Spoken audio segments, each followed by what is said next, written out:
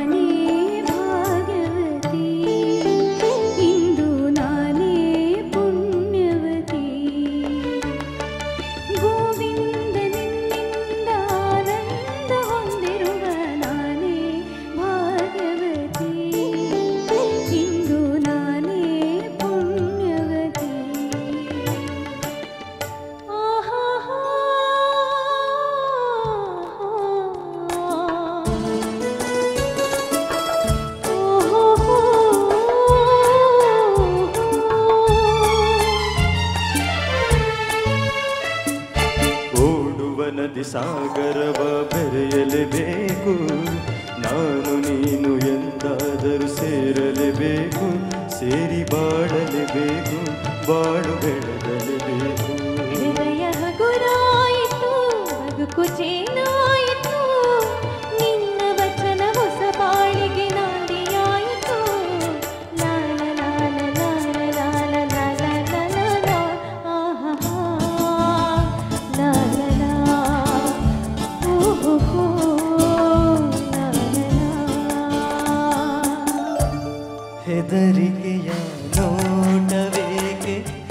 ಓಡನಾಡಿ ನಾನಿರುವೆ.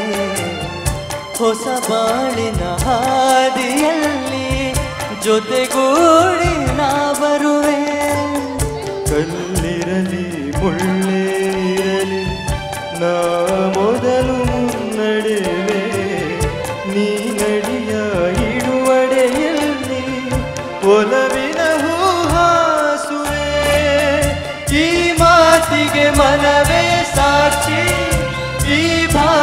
ಭಾಷೆಗೆ ದೇವರ ಸಾಕ್ಷಿ ನಿನ್ನಾದರೂ ನನ್ನ ನಂಬಿನಗೆಯ ಚೆಲ್ಲು ಚೆಲುವೆ?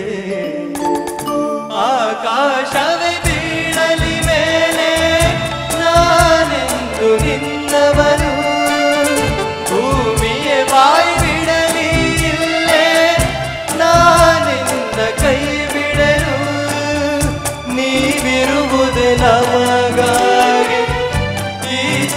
never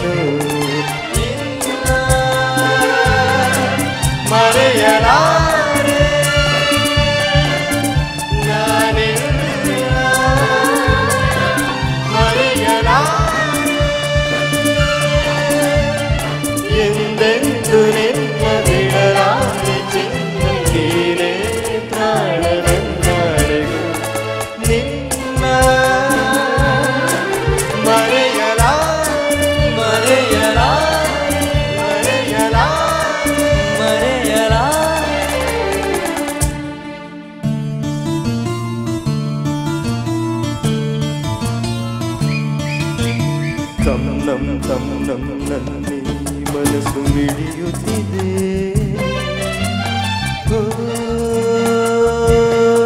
ಸೋತಿದೆ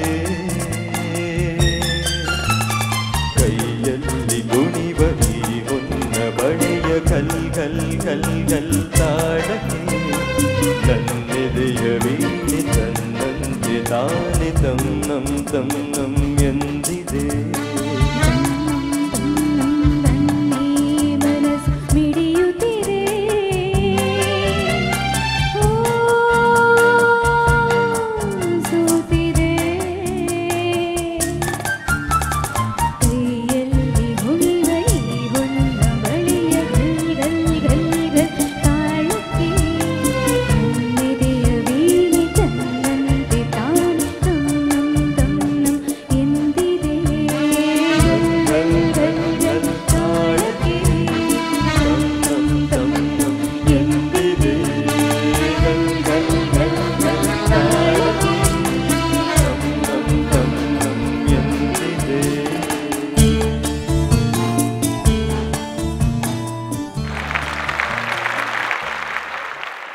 ಈ ಮೆಡ್ಲಿಯಲ್ಲಿದ್ದ ಅಷ್ಟು ಹಾಡುಗಳ ಸಂಗೀತ ನಿರ್ದೇಶಕರು ರಾಜನ್ ನಾಗೇಂದ್ರ ಅವರು.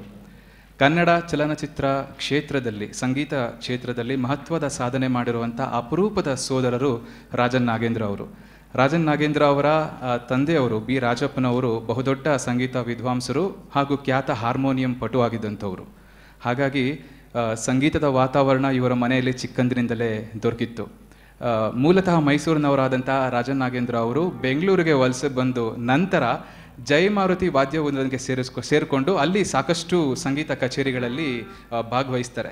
ಆನಂತರ ನಾಗೇಂದ್ರ ಅವರು ಗಾಯನದ ಕಡೆ ಹೆಚ್ಚು ಆಸಕ್ತಿ ತೋರಿ ಆ ಮುಖಾಂತರ ಚಿತ್ರರಂಗ ಪ್ರವೇಶ ಮಾಡೋದಕ್ಕೆ ಪ್ರಯತ್ನ ಪಟ್ಟರೆ ರಾಜನ್ ಅವರು ಮದ್ರಾಸಿಗೆ ಹೋಗಿ ಖ್ಯಾತ ಸಂಗೀತ ನಿರ್ದೇಶಕರಾದಂಥ ಪದ್ಮನಾಭ ಶಾಸ್ತ್ರಿಯವರ ಜೊತೆ ಕೆಲಸಕ್ಕೆ ಸೇರಿ ಧ್ವನಿ ಮುದ್ರಣದ ತಂತ್ರಗಳನ್ನು ಕಲ್ತ್ಕೊಳ್ತಾರೆ. ಅದಾದ ನಂತರ ಸಾವಿರದ ಒಂಬೈನೂರ ಐವತ್ತ್ಮೂರರಲ್ಲಿ ತಯಾರಾದಂತಹ ಸೌಭಾಗ್ಯಲಕ್ಷ್ಮಿ ಚಿತ್ರದ ಮೂಲಕ ಸ್ವತಂತ್ರ ಸಂಗೀತ ನಿರ್ದೇಶಕರಾಗಿ ಕನ್ನಡ ಚಲನಚಿತ್ರರಂಗಕ್ಕೆ ಅಧಿಕೃತವಾಗಿ ಪ್ರವೇಶ ಪಡೀತಾರೆ ಅಲ್ಲಿಂದ ಮುನ್ನೂರಕ್ಕೂ ಹೆಚ್ಚು ಚಿತ್ರಗಳಿಗೆ ಈ ಜೋಡಿ ಸಂಗೀತ ನಿರ್ದೇಶನ ಮಾಡಿದೆ? ಅದರಲ್ಲಿ ಕನ್ನಡ, ತೆಲುಗು, ತಮಿಳು, ಮಲಯಾಳಂ ಹಾಗೂ ತುಳು ಭಾಷೆಯ ಅಷ್ಟು ಚಿತ್ರಗಳು ಸೇರಿದೆ ಡಾಕ್ಟರ್ ರಾಜ್ ಅವರ ಸುಮಾರು ಇಪ್ಪತ್ತೆರಡು ಚಿತ್ರಗಳಿಗೆ ರಾಜನ್ ನಾಗೇಂದ್ರ ಅವರ ಸಂಗೀತ ನಿರ್ದೇಶನ ಇದೆ. ಅವುಗಳಲ್ಲಿ ಕೆಲವೇ ಕೆಲವು ಹೆಸರಿಸ್ಬೋದು. ಅಂದರೆ ಪಟ್ಟಿ ಮಾಡ್ತಾ ಹೋದರೆ ಅಷ್ಟೊಂದು ಸುಮಧುರವಾದ ಹಾಡುಗಳನ್ನು ನೀಡಿರುವಂಥ ಶ್ರೀ ರಾಜನ್ ಅವರು ಇವತ್ತು ನಮ್ಮ ಕಾರ್ಯಕ್ರಮಕ್ಕೆ ಮುಖ್ಯ ಅತಿಥಿಯಾಗಿ ಆಗಮಿಸಿರುವಂಥದ್ದು ನಮ್ಮೆಲ್ಲರ ಭಾಗ್ಯ. ರಾಜನ್ ಸರ್, ದಯವಿಟ್ಟು ವೇದಿಕೆ ಮೇಲೆ ಬರಬೇಕು. ಅವಿರತದ ಪರವಾಗಿ ನಿಮಗೊಂದು ಸಣ್ಣ ಸನ್ಮಾನ ಕಾರ್ಯಕ್ರಮ ಇದೆ.